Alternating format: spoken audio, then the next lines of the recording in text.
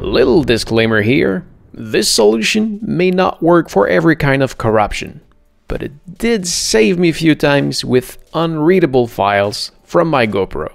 So if we look at this video file here, I know it's a video file because it's a .mp4, but as you can see if I try to get a look at it with preview, it only gives me the file's info. But I know there is something in there because it's a 3GB file. If your file is less than 10 megabyte, there is good chance that you have lost everything.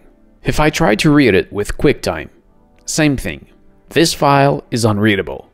So what I will do is to try to open it with VLC.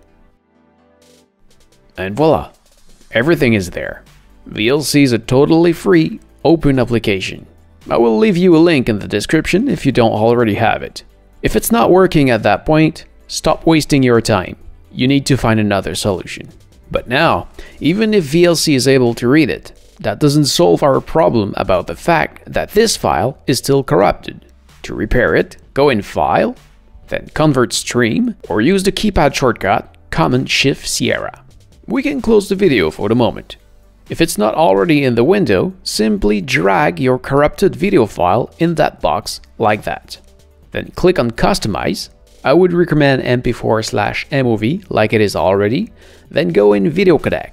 Make sure you select Keep Original Video Track, like that, and do the same thing into Audio Codec, like that. This way, everything will be the same as source, except it won't be corrupted. Finally, hit Apply. Select Browse to choose the new file location. For me, it will be in that folder. Give it a name, hit Save, and save again. That may look like a bug, but it's not. The window will vanish. Just reopen VLC and you will see the timeline go as if you were watching something. This is normal. You have to wait up to the end. VLC is converting your file. Once it reached the end, wait few more seconds, and you got your file uncorrupted. As you can see, VLC is able to read it, so as QuickTime and every other software will be. So this is it. Thank you for watching. I hope it helps. If yes, please make a thumbs up. If you have any question, please ask in the comment below.